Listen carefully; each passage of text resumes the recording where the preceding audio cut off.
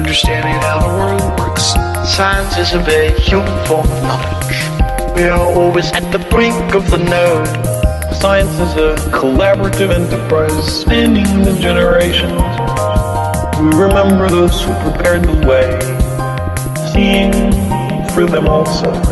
If you're scientifically literate, the world looks very different to you, and that understanding empowers you.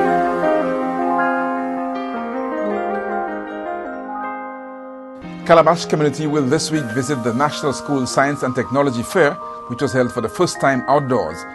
The venue, the Derek Walcott Square. There, our future scientists got an opportunity to show some of the many solutions to our everyday challenges. Today we will engage those students as they showcase their ingenuity. And what was interesting this year is that the infant schools got an opportunity to demonstrate a grasp of scientific principles.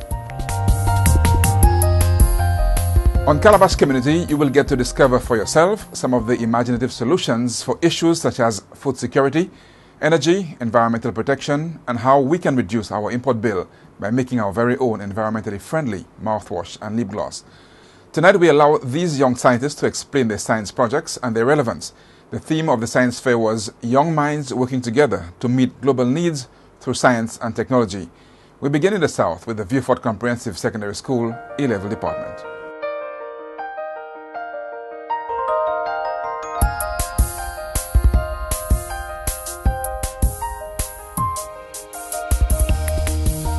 I am Casti Rudui, a student of the Vieux-Fort Comprehensive Secondary School A-Level Department. Our project today is based on algorithmic randomness and memory. Algorithmic dealing with numerical sequences and randomness have to do really means like no link, no flow between the numerical sequences which will be given. Alright, so our problem was to determine whether or not there is a correlation between the randomness of a numerical sequence and the difficulty in remembering it. To go about doing this project, we had a very simple procedure. We, we produced cards, but at all um, repeating the numbers, they were all ones, just one, two, one, three, and so on. We would give a test subject, well you, or in any other case, 20 seconds to arrange a numerical sequence which we will be given. After 20 seconds has elapsed, the test subject has to rearrange the numerical, the numerical sequence sorry, in the original order that it was in. So how did the test subjects do? They did very well, well, with the very simple sequences, like example 1 to 9. Yeah, it was very simple to remember because, I mean, that's a logical sequence.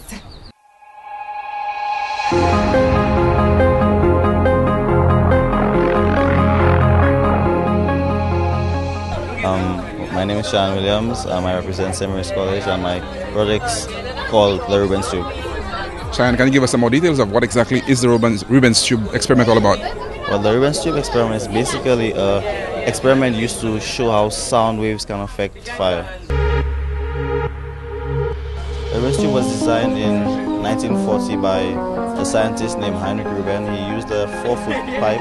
He sealed one end and he placed a speaker at the other end and he realized that sound can affect fire.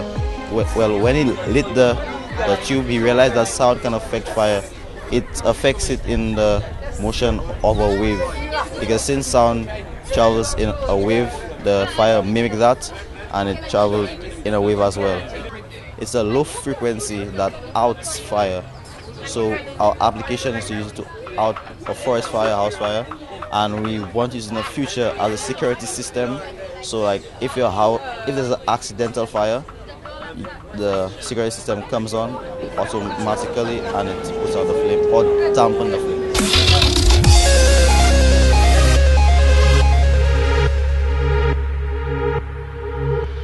My name is Niala Lewis. I am from the Arthur Lewis Community College. My partner Jamal and I, we have came up with the idea of producing biofuels from algae.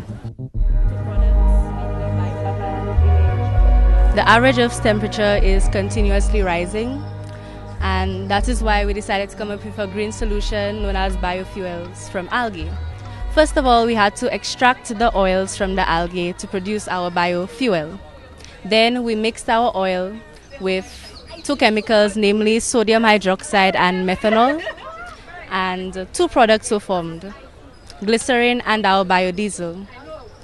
The glycerin would not be a complete loss as it can be sold to companies that make medications for dry skin, as glycerin is a major component of those medications.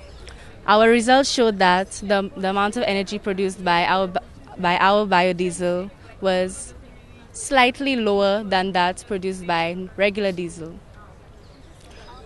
However, the cost of production would the cost of production the cost of production is much lower than that of the production of regular diesel as when obtaining when trying to produce the normal diesel drilling is involved and the cost for the equipment for drilling is very expensive. It contributes less to global warming because algae is a plant and so it photosynthesizes and so it takes in carbon dioxide. So when you burn it, the same amount of carbon dioxide will be released into the atmosphere and so there will not be an increase in the greenhouse gases in the atmosphere. Next, we head back to Vieux Fort Comprehensive A-Level Department. The team members are Noelita Smith, Jamie Jean Charles, Kesson Samuel, and Laudia St. Helen. The reason for our project is that we wanted to create an environmentally friendly mouthwash because the commercial mouthwash which are in the stores are very harmful to the individual and the environment. So the basic ingredients we used were lemon, honey and cinnamon. We used the cinnamon because it contains an active ingredient called cinnamic aldehyde oil which is used to kill bad breath. We used the honey because it has antibacterial properties which help to fight the bacteria. We use the lemon because it is used as a whitener for the teeth and it is high in vitamin C. Well, we had 10 individuals tested for the the experiment and 5 used commercial and 5 used the natural mouthwash and they were each tested at a 10 minute interval for an hour and they use their wrist as a agent to help smell their breath each time and the results were that the commercial mouthwash it left a stingy taste after tasting their mouth and it really burned the gums but the com- the homemade mouthwash was much milder for the individual and they felt it much fresh for a very longer period of time than the commercial mouthwash. My name is Kesan Samuel from Fort Comprehensive A-Level Department. Okay, Kesan, is there a possibility of this becoming a business idea? Yes, it is because it's something that is very effective and we find that it can actually help people because mouthwash is something that we can use like every day and um, having good breath is a very nice thing. And most of the most of the products are available here. We have lemons, we have honey. Well, the point of the project was to create an environmentally um, friendly product which can be used by individuals to enhance their um, daily living. So therefore, that's why we use basic ingredients: honey, lemon, cinnamon. So the farmers should be pretty happy with this project. Yes, they should. If you're scientifically literate, the world looks very different to you, and that understanding empowers you.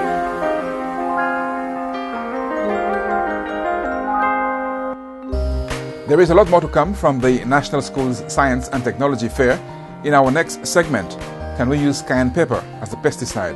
We will hear from Edry Joseph of the Sir Arthur Lewis Community College on this. Stay tuned to Calabash Community.